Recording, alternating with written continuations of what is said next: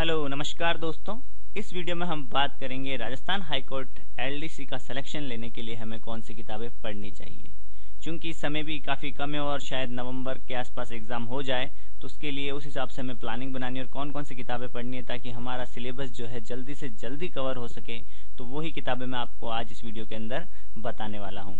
तो बहुत ही अच्छी वाली बुक्स बताऊँगा जिससे आपके मार्क्स अगर आपने ये किताबें पढ़ लिए ना तो मार्क्स तो आपके मतलब टॉप लेवल के आने वाले हैं। लेकिन आपके कितने भी मार्क्स भले ज़्यादा आ जाओ, लेकिन अगर आपने अभी तक टाइपिंग अगर शुरू नहीं की है तो मार्क्स आपको एग्ज़ाम के अंत में जाकर धोखा भी दे सकते हैं। क्योंकि दूसरे एग्ज़ामों की तुलना में अपने जो ये हाईकोर्ट एलडीसी की जो टाइपिंग है ना, वो थोड़ा सी टफ पड़ती है। स्पीड भी बहुत ज़्यादा मांगी जाती है है ना? तो आप टाइपिंग आज से शुरू कर देना हिंदी और इंग्लिश की, ठीक है? भले आधा आधा घंटा करो, जो भी करो, पर कहीं ना कहीं से ज्वाइन ज़रूर कर लेना आप। चलिए मैं आपको बताता हूँ फटाफट बुक्स तो हमारे कुछ जो सिलेबस जो है, कुछ इस प्रकार से दे रखा है। हिंदी के टॉपिक्स दे रखे हैं, ये इंग्लिश के दे रखे हैं, और ये तीसरा जो टॉपिक है जनरल नॉलेज का है। है ना? तो काफ़ी लंबा चौड़ा ऐसे सब्जेक्ट वगैरह नहीं है। तीन सब्जेक्ट हमको इन पर फोकस करना है तो हम कवर कर सकते हैं, ठीक है? और जो एक्सपर्ट है, वो तो कहीं से भी पढ़े कोई दिक्कत नहीं। हाँ लेकिन ये वीडियो जो बिगिनर्स है मतलब कौन सी किताबें पढ़नी चाहिए उनको, जिससे कि वो सिलेक्शन के नज़दीक पहुँच सकते हैं तो वो इस वीडियो को पूरा ज़रूर देखें। देखो, अगर आप हिंदी कहाँ से पढ़ सकते हो? तो हिंदी के अंदर देखो, अगर आपको अभी थोड़े कमज़ोर हो, अगर आप हिंदी इससे पहले आपने नहीं पढ़ रखी है तो सबसे पहले आप शुरुआत कर सकते हैं। और वे दोस्त भी जो इनको पहले पढ़ी हुई है, लेकिन सोच रहे कि अब चलो हाईकोर्ट एल एलडीसी आ गया तो क्योंकि बार बार मौका मिलेगा। नहीं, बहुत ही सुनहरा मौका है ये, और जल्द ही कंप्लीट भी हो जाएगी ये, क्योंकि वैसे काफ़ी टाइम हो चुका है। तो वो भी यहाँ से शुरुआत कर सकते हैं और अपनी हिंदी को वापस जगा सकते हैं इस वाली बुक से, ठीक है? शुरुआत यहीं से कर लो, और उसके बाद क्या करना है आपको? उसके बाद, चूँकि समय को देखते हुए हमें थोड़ी सी तैयारी करनी पड़ेगी तो सबसे पहले शुरुआत इस वाली बुक से कर ली हमने, इसको पढ़ लिया, या फिर इसका जैसे कोई सा एक टॉपिक आपने संधि पढ़ लिया।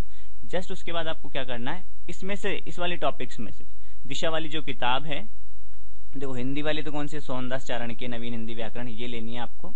उसके अलावा आप क्या करना है दिशा वाली किताब लेनी है एग्ज़ाम रिव्यू की, जिसमें पहले के जो प्रश्न दे रखे हैं, बहुत ही ज़्यादा अच्छी बुक है, बहुत ज़्यादा अच्छी बुक है। इसके अंदर क्या आपको साथ में जो प्रश्न के नीचे डिटेल भी मिलेगी, जिससे आपका जो कॉन्सेप्ट है वो भी थोड़ा क्लियर होगा। तो यहाँ से जैसे आपने संधि पढ़ ली, उसके बाद आप इस वाली बुक को उठाइए और इसमें से प्रश्न आंसर जो है अपने प्रश्नोत्तर लगाइए। आपका बहुत ही अच्छे से वो टॉपिक कवर हो जाएगा। जब आप ऐसे करके अपना सिलेबस ज़रूर साथ में लेकर बैठना कि मैंने संधि पढ़ ली टिक लगा दिया। इधर से भी पढ़ ली टिक लगा दिया ठीक है? उसके बाद अगर आपको समय मिल जाए और एग्जाम्पल्स पढ़ने हो बहुत ज़्यादा यहाँ पर जैसे हो सकता है मुहावरे मान लो सोई दे रखे हैं ठीक है? कुछ मुहावरे यहाँ पर आपके प्लस हो गए तो कुल मिलाकर जैसे आपने 300 मुहावरे पढ़ लिए लेकिन आपको लगता है आपके समय और, और पढ़ना चाहिए आपको ठीक है? तो यहाँ पर आपको ये इससे बढ़िया बुक तो कोई मिलेगी ही नहीं है ना? यहाँ पे एग्जाम्पल्स की बहुत भरमार मिलेगी और यहाँ से तो कोई बाहर प्रश्न जाता ही नहीं है। पर ये मैं कहूँगा आप सबसे लास्ट में पढ़ें, ठीक है? सबसे ऑथेंटिक बुक ये समझ लो, ये ये बहुत बढ़िया बुक है ये। लेकिन ये आप लास्ट में पढ़ना, ठीक है? पहले दो किताबें कवर कर लो, उसके बाद थर्ड जब आपके पास ये दोनों किताबें कवर हो गई हैं तो थर्ड पे आ जाना आप, राघव प्रकाश की हिंदी। तो तीन किताबें हो गई हैं, सोहनदास चारण, नवीन व्याकरण, दिशा का एग्ज़ाम रिव्यू जो पुरानी परीक्षाओं में प्रश्न पूछे गए, बहुत ज़रूरी है करना। और तीसरी बुक है हमारी, राघव प्रकाश।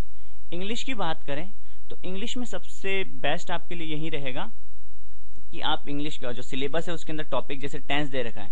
टेंस आप गए यूट्यूब पे आपने सर्च किया, जिस भी टीचर से आपको समझ में आ रहा है टेंस टॉपिक ठीक है?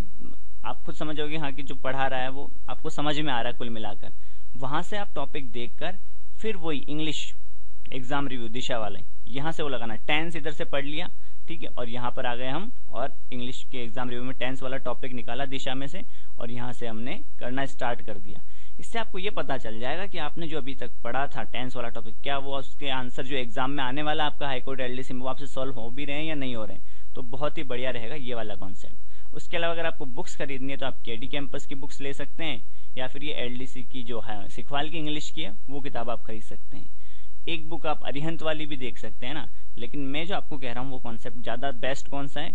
यूट्यूब से हमने कुछ, जो भी टीचर्स वगैरह, बहुत सारे मिल जाएँगे अपने को। जो भी आपको टीचर सूटेबल लगता है, वहाँ से आपने इंग्लिश का टॉपिक पढ़ा, ठीक है? और यहाँ पे दिशा पे आके आपने लगा दिया ना अगर पेपर और सॉल्व हो रहे हैं आपसे तो समझ लो बहुत ही बढ़िया चीज़ हो रही है। फिर उसके अलावा आप केडी कैंपस खरीद सकते हैं ना। राजस्थान जीके वाली चीज़। राजस्थान जीके में तो ये दो किताबें भी अगर आपने रट ली ना, ये तो राजस्थान जीके वाला टॉपिक क्योंकि आपको अभी पिछले पेपर में मैंने आपको बताया था कि राजस्थान जीके के अंदर भी सबसे ज़्यादा जो है ज्योग्राफी के प्रश्न पूछे गए थे पिछले पेपर के अंदर। अगर आपने पिछला पेपर नहीं देखा तो आप देख सकते हैं, मैंने चैनल पे अपलोड करा था अभी थोड़े दिन पहले ही तो उसमें मैंने आपको बताया था कि किस किस टॉपिक से कितने कितने प्रश्न पूछे गए है ना? वो चीज़। इसके अलावा आप सिखवाल की मानचित्रावली खरीद सकते हैं। इसका बेनिफिट क्या है? इसमें साथ में मैप दे रखा है, जिससे आपके कॉन्सेप्ट भी क्लियर होते रहेंगे। आप डिटेल भी पढ़ते रहोगे और आपको ये भी पता चलता रहेगा क्योंकि राजस्थान का मैप याद करना ज़रूरी है राजस्थान जी के पढ़ने के लिए और खास करके ज्योग्राफी के लिए। और अपने हाईकोर्ट एलडीसी में सर्वाधिक प्रश्न जो है वो ज्योग्राफी से पूछे गए थे। सोलह प्रश्न थे उन पचास के अंदर से भी। उसके बाद करंट अफेयर्स के अंदर सोलह प्रश्न थे। उस करंट अफेयर्स में, राजस्थान करंट अफेयर्स का एक भी प्रश्न नहीं मिला मेरे को। तेरह प्रश्न तो अपने इंडियन करंट से थे और तीन प्रश्न वर्ल्ड करंट से थे। आप पिछला पेपर देखना एक बार। इसके अलावा आप इसमें लक्ष्य की जो किताब है हाई कोर्ट एलडीसी की, वो भी खरीद सकते हो, ठीक है? कंप्लीट गाइड भी खरीद सकते हो आप, लक्ष्य वाली तो।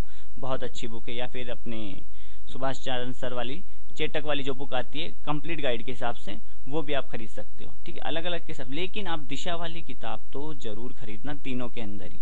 क्योंकि ये रामबाण किताबें ये समझ लीजिए आप मैंने पढ़ी है और एग्ज़ाम जब दे, दोगे ना आप या फिर पुराना पेपर दोगे तो आपको पता चल जाएगी कि प्रश्न तो यहीं पर ही मिल रहे हैं एज इट इज़ पिछले वाले। तो सत्तर से अस्सी प्रतिशत काम कर देती है ये बुक्स आपका। इसके अलावा करंट अफेयर्स तो करंट अफेयर्स तो देखो आप यूट्यूब से आराम से जिसको भी जहाँ से भी पढ़ते हो यूट्यूब वगैरह से आप करंट अफेयर तैयार कर सकते हो। ठीक है? इसमें इंडिया करंट बहुत अच्छे से तैयार करना और खास करके देखो खैर, कोर्ट का पेपर है तो कोर्ट के प्रश्न बहुत पूछे गए थे पिछले पेपर के अंदर भी। अपने सुप्रीम कोर्ट के तो काफ़ी प्रश्न थे उसके अंदर। या फिर इससे रिलेटेड कोई विधिक सेवा प्राधिकरण वगैरह कहाँ है है ना? ऐसे प्रश्न भी पूछे गए थे। इसके अलावा बुक कौन सी खरीद सकते हो आप? तो मूमल का जो वार्षिक अंक आता है है ना? अभी थोड़ा रुक के लेना, क्योंकि अभी हो सकता है अपने करीबन सितंबर या अक्टूबर तक के प्रश्न भी परीक्षा में पूछे जा सकते हैं, ठीक है? अगर आप ये खरीद भी लेते हो तो कोई दिक्कत नहीं, पढ़ लो खरीद के, लेकिन वापस रिसेंट अगर कोई नहीं आती दूसरी, इसके अलावा तो वो भी हमें खरीदनी, क्योंकि अभी तो हमारे आवेदन ही बाईस अगस्त से शुरू होंगे।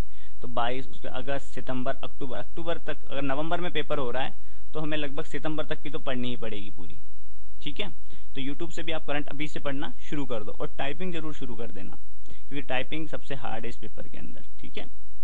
तो दोस्तों, ये थी बुक्स आशा करता हूँ आपके बहुत ही काम का वीडियो साबित होगा। मिलेंगे नेक्स्ट वीडियो में। जय हिंद, जय भारत।